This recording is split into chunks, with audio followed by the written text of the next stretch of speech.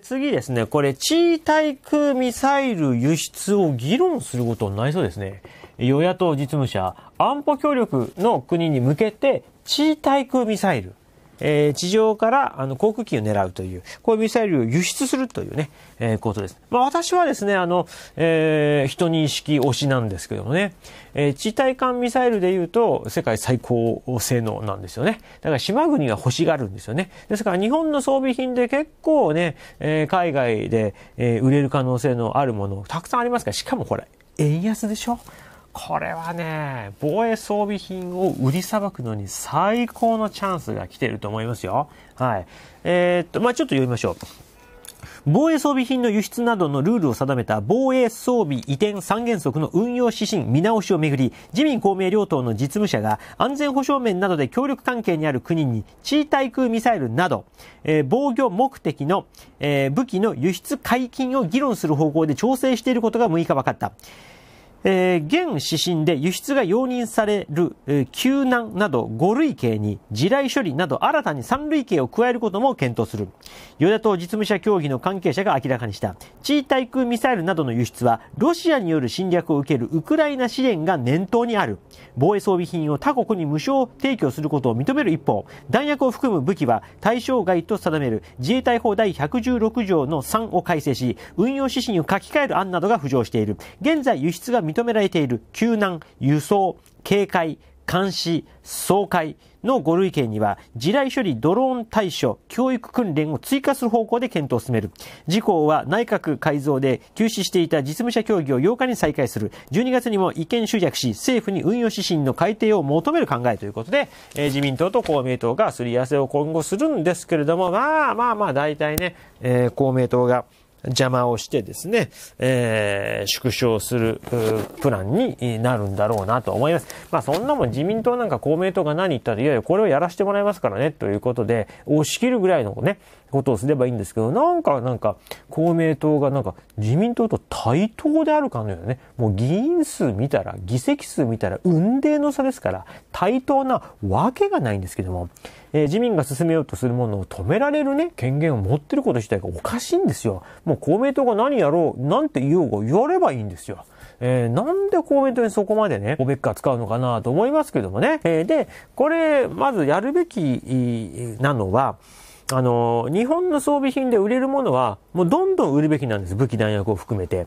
えー、で、な、なぜかというと、それで、継戦能、日本の継戦能力が高まるんです。えー、つまり、今ね、えー、防衛装備品って訓練で消費した武器弾薬を供給するだけの供給力しかないんですね。だから武器、訓練で消費する分しか作れないわけですよ。本格的に戦争が始まったらわーっと使っちゃいますでしょ？じゃあ、あの、いつもの倍増代とか言った時に、あすいません、あの、毎年訓練で使ってる分しか作れないんですよと、生産ラインが。無理ですって。えそうしたら、持ってる弾撃ったら、次供給されるの1年先とか2年先とか、3年先とか、えー、これじゃあ、もう、今持ってんの撃ったら次、もう弾ないわけですからね。はい。そう。だから、あの、外国に売っていればいいんですよ。はい。はい、自衛隊の分。で、え、フィリピン軍の軍、分。オーストラリア軍の分とか、イギリスに輸出しちゃっていいですよ。世界のいろんなところに輸出すると、自衛隊が使う分以上に生産ラインをね、えー、取って、どんどん普段作るわけですから。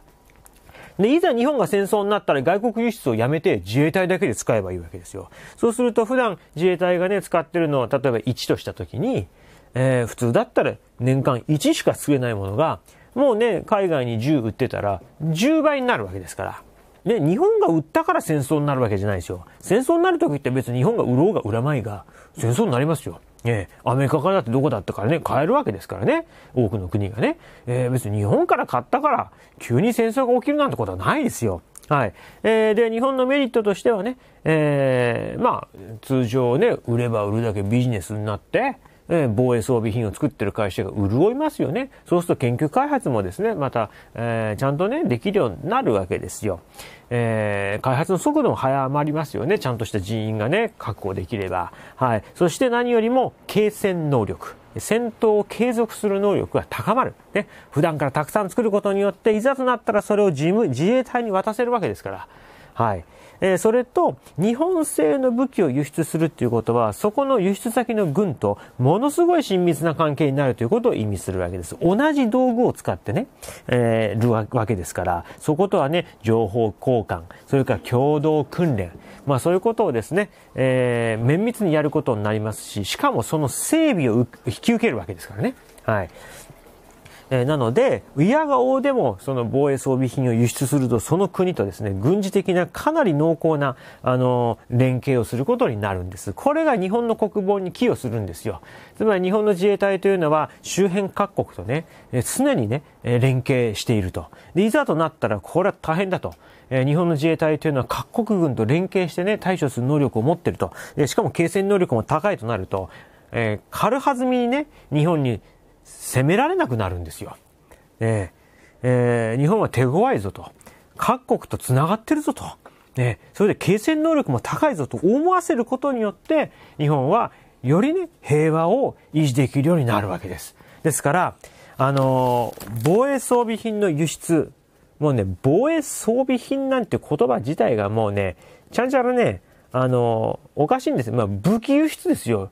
ええー、あえて言いましょう。そうです武器作って輸出すればいいんです。はい。それによってその武器で国防をするんですから。まあ私たちさすがに今ね、いきなりどっかの国に攻めてったりしませんよ。そんなことよりも、どっかの国がいきなり攻めてくることを心配してほしいですね。左派って、そこ心配しないですよ。どっかの国は攻めてこないって言ってるんです。日本が攻め込むことが問題だって騒いでるわけですよ。それないから、日本攻め込まないでしょ。で、中国攻めてくるって言って、いや、攻めてこないって、あの、共産党言うわけですよ。いや、攻めてくるかもしれないじゃん。だから彼らおかしいんですよね。中国は攻めてこない。でも日本はどっかにすぐ攻めていくって言ってるんですよ。そんなね、そんなおかしなこと言ってる連中の言うことは聞く必要ないです。日本はこの時代、攻めないですよ、いきなりどっかの国を。はい。攻められることを考えた方がいいです。